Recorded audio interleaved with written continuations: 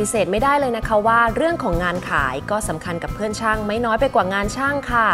ช่างแทนคุณจากร้านแทนคุณ Satellite ช่างเด่น PSI ของเราวันนี้ คือช่างที่เชี่ยวชาญด้านงานขายเป็นอย่างมาก และเขาจะมาแชร์ประสบการณ์การขายที่น่าสนใจ ให้เพื่อนช่างได้นำไปปรับใช้กันค่ะ สวัสดีครับ ผมชื่อแทนคุณครับ ชื่อร้านชื่อแทนคุณเซ็นทรัลไลท์ครับตั้งอยู่ตรงถนนโชคชัย 4 ซอย 72 ครับ ผมเป็นตัวแทนช่างมาตรฐาน PSI โซนลาดพร้าวครับ ก็สิ่งที่ได้จากเจ้านายเก่านะครับเขาจะบอกว่าทำไมไม่เชียร์ตัวสูงเขาจะบอกเราขายตัวที่แพงที่สุดของร้านก่อน เพราะว่าเท่าแก่เขาสอนนะครับว่าการที่เราขายของที่ถูกที่สุดในร้านอะ เป็นการดูถูกลูกค้าอย่างหนึ่งเพราะฉะนั้นทุกคนเข้ามาหาเราเราคิดซะว่าเขาเป็นคนมีเกียรติมีศักดิ์ศรีแล้วมีเงิน เพราะฉะนั้นต้องขายตัวที่แพงที่สุดเสมอ การอ่านใจลูกค้าสำคัญที่สุดสำคัญที่ว่าถ้าเราอ่านใจลูกค้าออก เราจะรู้เลยว่าปัญหาที่ลูกค้าจะถามเราต่อไปคืออะไรเรื่องของการปรับบุคลิกภาพในการขายก็สำคัญไม่แพ้กันนะคะ เราจะอาบน้ำนอนอะ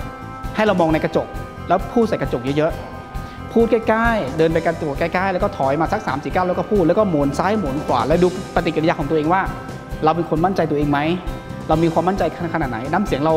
แรงไปไหม หรือว่าเบาไป หรือว่าอ่อนไป หรือว่าสีหน้าเรายิ้มไหม สีหน้าเราเป็นมิตรไหม นี่นี่คือการเตือนตัวเองตลอดเวลา ให้เรารู้สึกว่า เฮ้ย ฉันยังมีไฟนะนอกจากการพัฒนาด้านการขายแล้ว ช่างแทนคุณยังตั้งเป้าหมายให้กับตัวเองทุกวันอีกด้วย คือทุกๆเช้าผมตื่นมาปุ๊บระหว่างที่ผมกินข้าวผมอาบน้ำผมจะคิดว่างานของผมคืองานขาย เพราะถ้าผมขายได้คือผมถึงมีงานบริการ หรือถ้าผมขายไม่ได้ ผมต้องมีการบริการลูกค้าทุกวันฮะตื่นมาปุ๊บผมตั้งเป้าว่าผมต้องขายจานสองตัว ต้องขายกล่องสองกล่อง ต้องมีลูกค้าที่ผมเข้าไปบริการสองราย ไม่ว่าได้หรือไม่ได้คือผมต้องตั้งเป้า แล้วผมพยายามพยายามให้ได้ใกล้เคียงสิ่งที่ผมตั้งไว้ที่สุด พอเรามีเป้าหมายปุ๊บเราจะ สามารถที่จะพัฒนาพัฒนาตัวเองได้ และแรงบันดาลใจในการพัฒนาตัวเอง ก็ไม่ใช่ใครที่ไหนแต่เป็น อาจารย์สมพรก็เป็นแรงบันดาลใจในการที่พัฒนาตัวเองตลอดเวลา แล้วก็ที่สำคัญที่สุดคืออาจารย์สมพรจะบอกว่าช่างทุกคนต้องมีจรรยาบรรณเพราะฉะนั้นเราจะไม่โกหกลูกค้า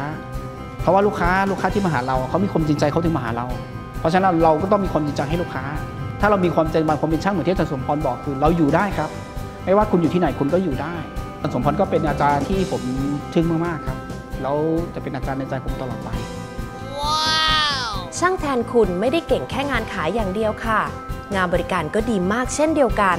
ที่ทำได้ดีทั้งสองอย่างแบบนี้ เพราะช่างแทนคุณมีเป้าหมายที่ช่วยเพิ่มขีดศักยภาพของตัวเองให้มากขึ้นเรื่อยๆ เพื่อนช่างคนไหนที่อยากลองเพิ่มศักยภาพตัวเองให้มากขึ้น